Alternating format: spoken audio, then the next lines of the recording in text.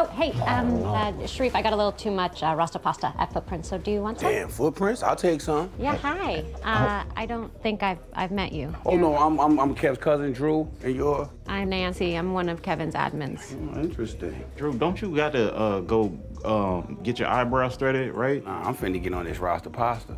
You order jerk chicken with it? Yeah. Bag. Get some? Uh, you mind? You'll see. It's okay, Nancy. Thank you. I'm, I'm gonna share it with Sharif. You want some?